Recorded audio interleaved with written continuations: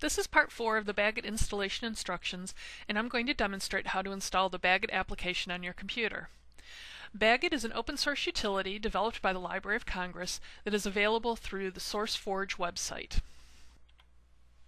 The BagIt developer has conveniently provided a runtime ready version of the BagIt utility on the SourceForge website. There is no need for you to compile the source code.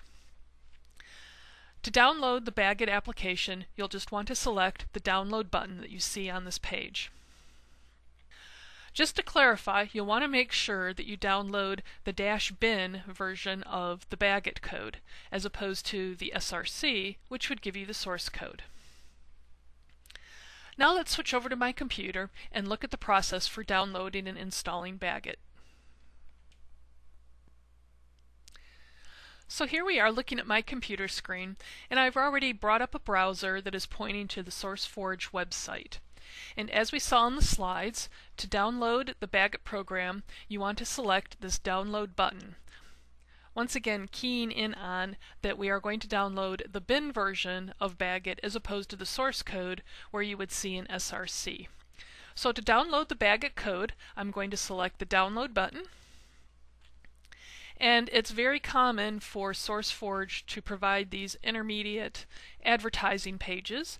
And the download box is actually going to come up as a pop-up. And as you can see, my Internet Explorer has some security settings on it preventing Windows to pop up. So what I'm going to do is go up to my security bar here, press my right mouse menu, and select the download file option to override the browser security warning. So I'll just need to wait here a couple of seconds while it goes ahead and contacts the website to download. And now I see I have my file download dialog box. So to install BagIt, we are first of all going to have to download their installation file and then install BagIt from the zip file downloaded to our computer. So I'm going to select the Save option and I am now given a prompt of what directory do I want to save this zip file to on my computer.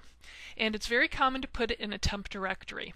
And this temp directory, I'll just confirm, is actually on my C drive, TEMP, temp, and this is just a temporary holding space, which is a nice place to put these files while you're doing a download because after the installation is complete, you are not going to need the zip file any further. So then we could go in and clear out the file from our temp directory. So I'm going to go ahead and select Save. And this is now going to download that zip file into the temp directory. And you would need system administrator access likely to even access this temp directory. So now we have downloaded the installation files for BagIt. So now what we want to do is go out and install BagIt on our computer. So I'm done with the SourceForge website, so I can go ahead and close this browser window. Now what I want to do is go out to my computer. So I'm going to select my computer icon that I see in the lower left hand corner here. And I'm going to go out to my C drive and my temp folder on my C drive. And here you see the BagIt 3.9 bin.zip file that we just downloaded. Now you may not have zip installed on your computer, but the Windows operating system now supports the ability to extract zip archives.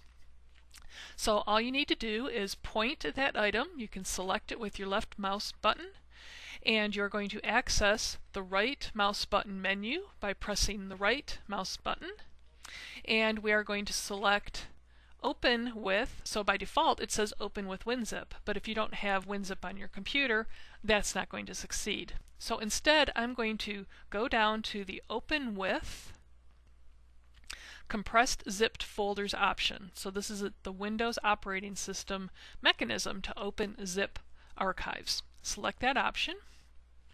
And now you can see that I am looking into that zip file and I have this BagIt-3.9 folder. Now to install BagIt, it's really just a very simple file copy from this zip view into a directory on my computer. So what I'm going to do is go down to my computer, open that up again, and I want to open up another view of my C drive. And what I'm going to do is I'm going to install the BagIt program to the slash directory on my C drive. So to do this I am going to go into my zip view. I'm going to select the BagIt 3.9 folder. I'm going to use my right mouse button to bring up that right mouse button menu. Select the copy option. I'm going to go into my C colon backslash view. I'm also going to use my right mouse button menu, so press that right mouse button and select the paste option. And that pastes the BagIt-3.9 folder onto the slash directory of my C drive. And now BagIt is installed and ready for use. And just to look at it real quickly, you might want to open up the BagIt-3.9 folder and you'll see we have the bin folder, which is short for binary, which is usually where you will find the application program stored. And when I double click on the bin folder, we see the bag and bag.bat files, which are the bag program. So this completes the installation of the BagIt application. And you are now ready to go out and proceed with sections 3 and 4 to create and or retrieve and unpack bags.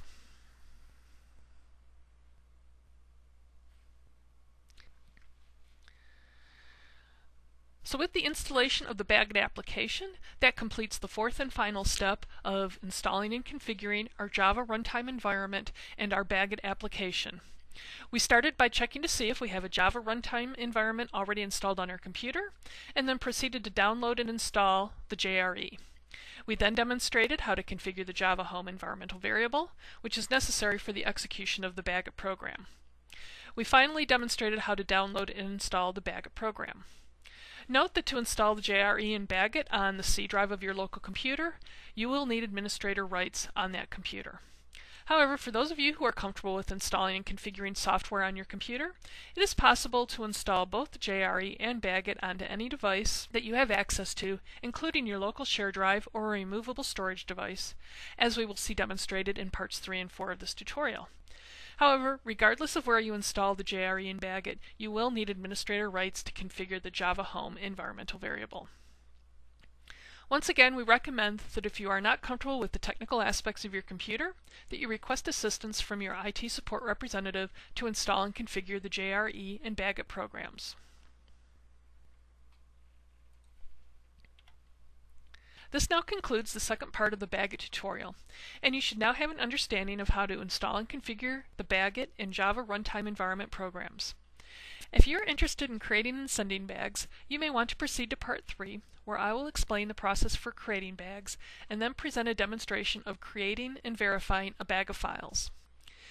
If you are interested in retrieving and unpacking bags, you may want to proceed to part 4, where I will explain the process for retrieving a bag of files and bringing them into your local working space, and then present a demonstration of retrieving a bag from a portable disk device, verify the bag arrived intact, and then move the files from the bag into my local working space. I hope you have found this overview of installing and configuring the JRE and BagIt helpful and informative, and I appreciate you taking the time to view part 2 of the BagIt tutorial.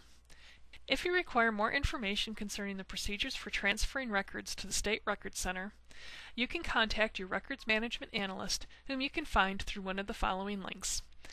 Thanks again, and this concludes part 2 of the BagIt Installation and Use for Transferring Digital Files tutorial.